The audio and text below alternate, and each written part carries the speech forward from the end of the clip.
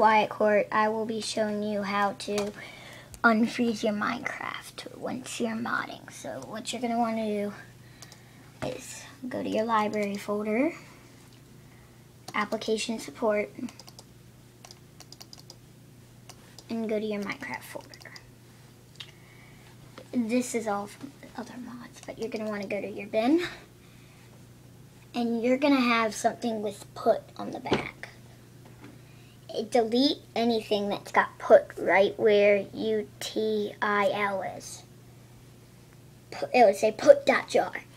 You're going to want to delete that. That stop, that makes your Minecraft freeze. But let's just uh, open up this folder and I can give you an, another example. Open with,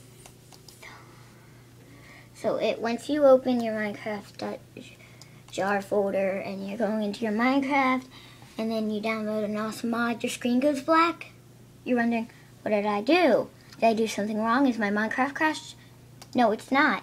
You're just going to want to go to, you're going to right click on it, go to arrange by, no, actually, you're going to go up here. Not right click, sorry. Arrange by. Go to kind. All these will come up. For me, there's one that didn't come up because I've deleted it before.